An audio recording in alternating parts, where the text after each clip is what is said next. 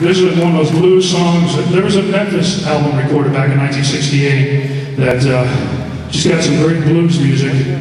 Matter of fact, uh, some number one songs came out of there, like Suspicious Minds and uh, Kentucky Rain came out of that recording, and Ghetto and all those great songs.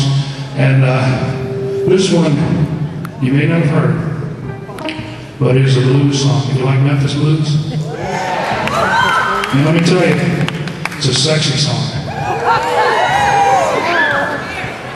It's called The Power of My Love. Yeah.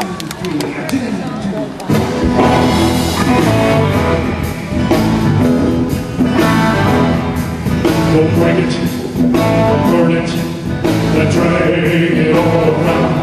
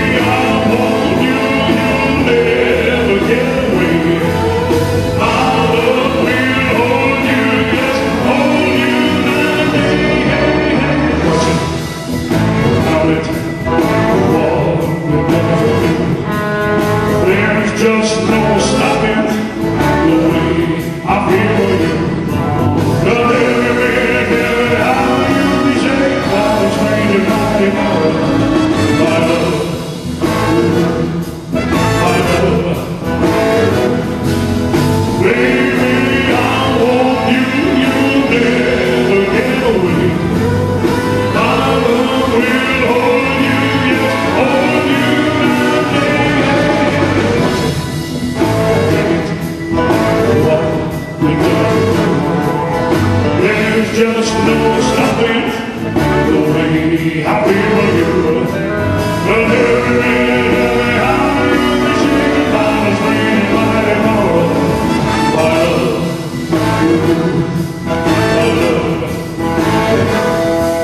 But every you